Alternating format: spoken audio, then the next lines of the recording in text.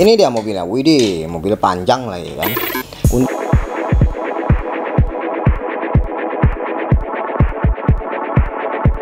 Halo, balik lagi bersama gua Kev Kev Demikar Terapi dan sekarang kita akan ngebahas Tomika teman-teman ya. Kita akan ngebahas Tomika dan Tomika apakah yang akan gue bahas kali ini teman-teman.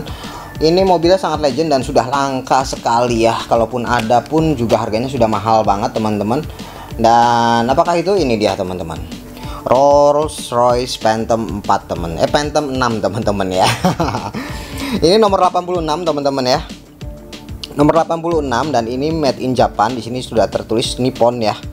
Di sini ya Nippon. Ada ada tulisan kanji kecil di sini di bagian sini. Dan kemudian uh, ini boxnya sama seperti yang versi Tommy merah yang lain-lainnya ya teman-teman ya.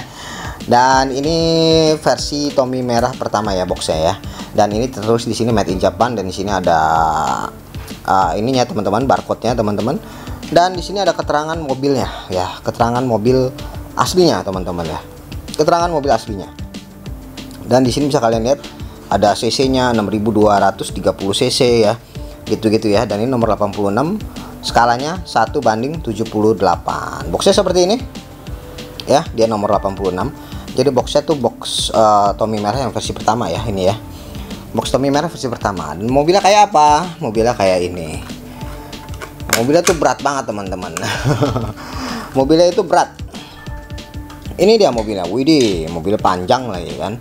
Untung uh, ini setelah gua lihat-lihat ada sedikit merintis sedikit ya. Tapi oke okay lah ya. Karena memang ini mobilnya sudah susah teman-teman ya. Rolls Royce ini ya. Kalau mau beli kalau gua mau beli lagi yang mbak yang ini juga mobilnya juga udah udah harganya udah cukup lumayan mahal ya karena ini udah made in Jepang dan mobilnya juga Rolls Royce Phantom gini teman-teman. Dan langsung aja gua akan bahas dari depan teman-teman ya. Ini dia WD ya. Gila ya mewah sih ya dari Tomika aja mewah ya kan? Dari Tomikanya aja mewah teman-teman ya. Apalagi dari versi yang uh, mini scale nya ya. Mini scale juga waktu itu ada ngeluarin juga tetapi gua uh, belum terlalu tertarik ya teman-teman ya. Dan di sini bisa kalian lihat di sini ya. Di bagian depan sini ini plastik teman-teman ya. Ini bagian sini ini plastik ini cukup detail juga. Dan tapi sayang dia tidak ada logo Rolls Royce nya di bagian depan sini ya. Sayang sekali itu ya. E, biasanya kan kalau mobil-mobil kayak gini kan di bagian depan itu ada logonya seperti yang ada di gambarnya nih teman-teman. Harusnya kan ada logonya ya. Nah ini dia. Mungkin mungkin ya mungkin. Mungkin karena Tomika takut patah ya. Karena bagian depan sini plastik teman-teman. Jadi dia tidak memberikan logonya ya. Tidak memberikan logo yang kecil di depan sini nih teman-teman nih. Jadi bagian sini plastik teman-teman. Bagian sini grillnya juga plastik ini ya. Dan kemudian lampunya juga plastik. Ini menyatu dengan grill ya teman-teman. Ya warna chrome kayak gitu teman-teman. Kalau menurut gue sih cukup oke okay ya. Kelihatan kayak uh, cukup lumayan perfect ya. Tahun-tahun segini mah ya. Tahun-tahun 90-an lah ya. Cukup lumayan perfect ya kalau mobil kayak gini ya dan untuk bumpernya bumpernya di sini uh, besi teman-teman. Ini menyatu dengan base nya teman-teman ya. Bumpernya nih ini besi semua. Jadi ini mobil kayak berat banget teman-teman. Karena mostly kecuali ban dan interior dan kaca dan bagian depan sini ini besi semua teman-teman ya. Dan di bagian depan juga ada nomor polisinya nih teman-teman nih. HU apa kelihatan teman-teman? HU 78 ya. Nah itu dia. H HJ apa HU tuh ya HJ 76 ya 76 apa 78 tuh ya. Pokoknya ada kode-kodenya gitu deh Tapi ini gue belum mengerti mengenai kode-kode yang ada di depan sini teman-teman ya. Jadi ya uh, kalau kalian ada yang tahu kode-kode bagian depan sini ya mungkin bisa di share di komen teman-teman ya. Kalau misal kalian mengerti mengenai kode-kodenya. Dan di bagian sampingnya teman-teman ya. Bagian sampingnya di sini polos-polos saja karena memang kebanyakan Tomica tuh mengeluarkannya mobil standar. Dan ini warnanya ini dia hitam tapi sedikit metalik teman-teman ya. Sedikit metalik karena ada kayak glitter glitterinya kayak gitu teman-teman. Jadi nggak nggak nggak pure hitam polos gitu. Dan ini panjang banget teman-teman ya mobilnya. Bisa kalian lihat di sini pintunya kan ada empat ya kalau ini. Tapi bentuk bodinya tuh bener-bener panjang banget. Dari depan sini sampai belakang sini panjang banget dan bagian ruangan dalamnya itu lebar banget karena memang untuk Queen ya. Biasanya kan kalau nggak salah Rolls Royce ya untuk uh, Queen Inggris ya kebanyakan yang make ya. Rolls Royce yang versi lama kayak gini teman-teman. Tetapi walaupun satu warna saja ini lekukannya juga sudah kelihatan oke nih teman-teman ya. Sangat-sangat bagus sekali lekukannya. Bagian depan sini bisa kalian lihat ya. Nih dari ujung sini. Set sampai ujung sini belakangnya. Widih cakep ya. Dan mari kita lihat di bagian belakang teman-teman di bagian belakang juga di sini masih tetap sama teman-teman. Tidak ada perbedaan apa-apa tidak ada yang dicat lampunya sayang sekali ya. Kalau misalnya mungkin kalau misalnya teknologi di zaman sekarang mungkin lampunya sudah sudah dicat dan ada logo Rolls Royce-nya gitu-gitu ya mungkin ya. Mungkin kayak gitu ya. Mudah-mudahan sih di remake di Tomica Premium nih yang kayak gini kayak gini nih ya.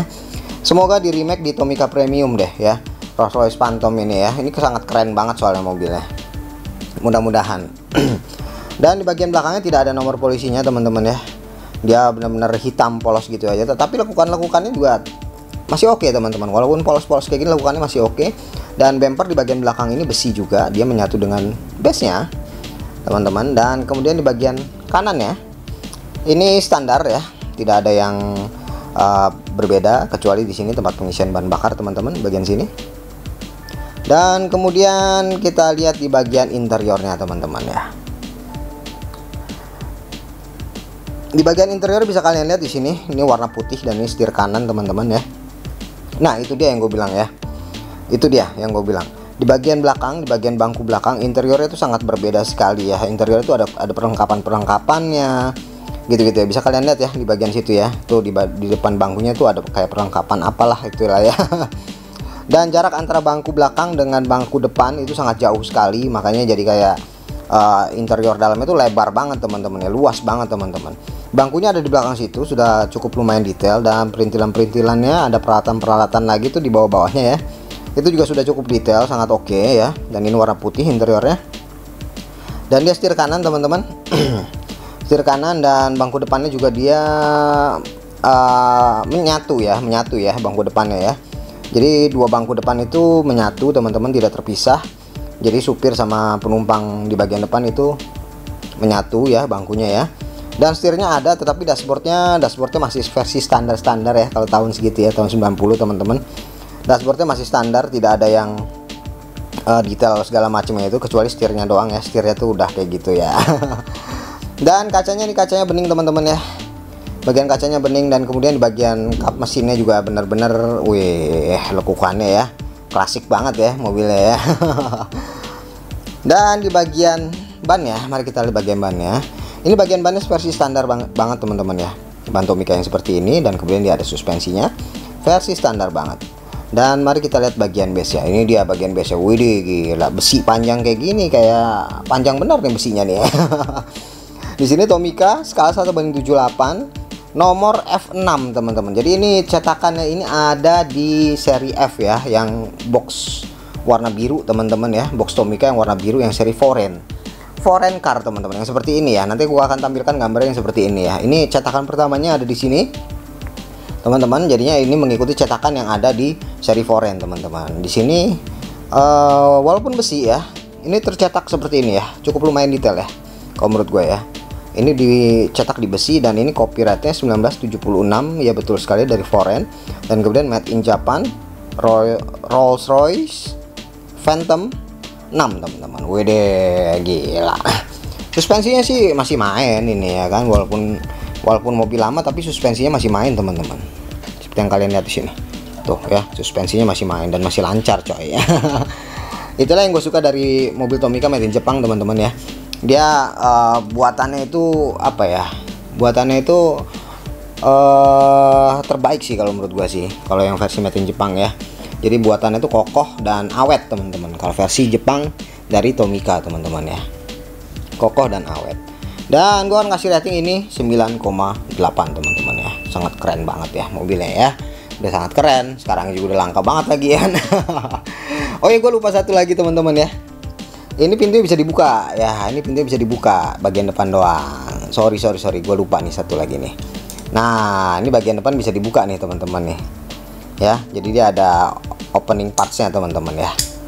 Opening partsnya cuma depan doang.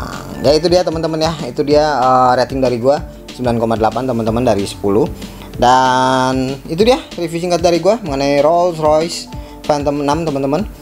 Dan thank you for watching. Jangan lupa subscribe comment dan like dan thank you teman-teman